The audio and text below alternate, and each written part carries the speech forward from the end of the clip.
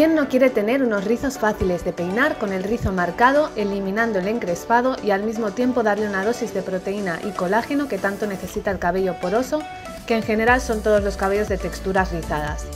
Cuando hablamos acerca del colágeno casi siempre se nos viene a la mente una piel firme, saludable y joven.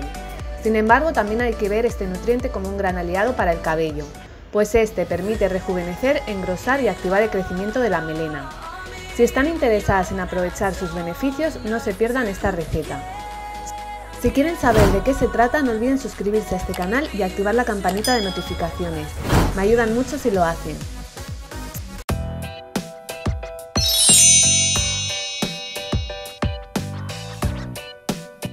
Para hacer esta infusión de colágeno necesitaremos primero de gel de avena.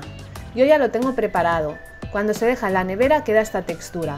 El gel de avena se hace cociendo la avena en agua y luego colándola. Este gel elimina el frizz y esponjado además de dar suavidad extra al cabello. Luego añadiré una cucharada de mascarilla capilar. Yo estoy usando esta de marca Novex con miel y aguacate, pero podría ser cualquier otra.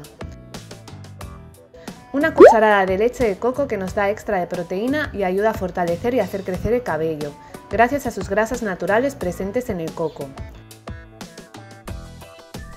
Finalmente, el ingrediente que no puede faltar es gelatina en polvo. Es lo que nos va a dar el colágeno que el cabello necesita para que los rizos se vean marcados y definidos.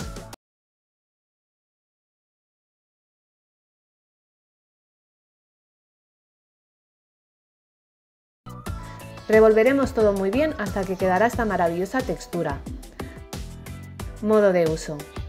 Aplicaremos esta infusión de colágeno en cabello limpio y lavado con champú. La utilizaremos a modo de acondicionador, dejándola actuar por 20 minutos y aplicándola de medios a puntas, pero también podrían en la raíz si lo desean. Luego ya sería solo enjuagar. No se van a creer el brillo, suavidad y rizos que se les quedarán después de usar esta mezcla. No guarden sobras. Espero que lo prueben y me cuenten sus resultados. Hoy mando saluditos a Judith Herrero y Elena Soria, seguidoras del canal. Y en el jueguito del día de hoy, ¿creen que las mamás rizadas tienen hijas rizadas o pueden ser lacias? Pongan qué opinan en los comentarios y si es que tienen hijas que son rizadas y ustedes también lo son. Hasta pronto.